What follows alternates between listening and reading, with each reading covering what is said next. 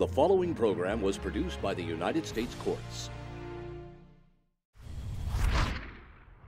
Let's talk about jury duty. Okay. I say jury duty. You say. Educational. I say jury duty. You say. A day off?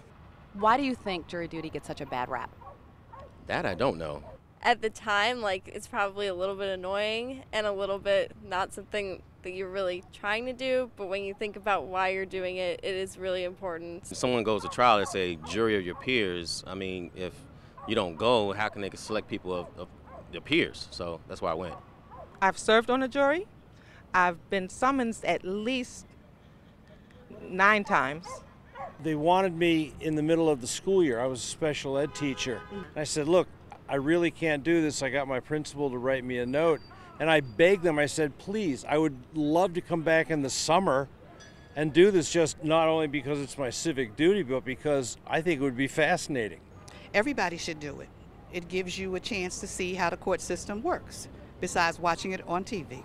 I say jury duty, and you say JFK. JFK. He once said, Ask not what your country can do for you, but what you can do for your country. Nice. Very good. I like that. Thank you so much.